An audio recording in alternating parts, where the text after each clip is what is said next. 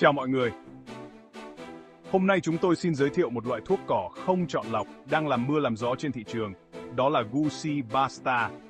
Với thành phần 200g trên lít glufosinate ammonium, loại thuốc diệt cỏ mạnh mẽ này dễ dàng quét sạch các loại cỏ dại một năm và lâu năm như cỏ mần trầu, cỏ chỉ hay cỏ lá tre. Cách sử dụng rất đơn giản. Bạn chỉ cần pha 150ml đến 200ml cho mỗi 20 lít nước, xịt thuốc khi cỏ đang phát triển mạnh. Đối với những loại cỏ dại cứng đầu, đã trưởng thành, hãy đảm bảo phun kỹ lưỡng từ gốc đến ngọn, sử dụng 800 đến 1.000 lít cho mỗi hecta. Lưu ý nhé, tránh xịt thuốc khi đất quá ẩm hoặc quá khô và tuyệt đối không xịt lên phần xanh của cây trồng.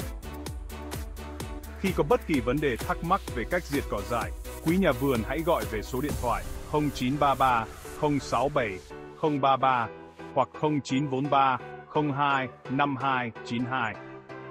Đội ngũ kỹ sư nông học giàu kinh nghiệm sẽ tận tình tư vấn và hỗ trợ quý bà con. Trường hợp cần thiết, chúng tôi sẽ đi đến tận vườn để xem bệnh và hỗ trợ quý bà con. Ngoài ra, quý bà con có thể truy cập vào website kỹ sư huy.vn để xem thêm nhiều kinh nghiệm hay và kiến thức hữu ích hơn nữa nhé.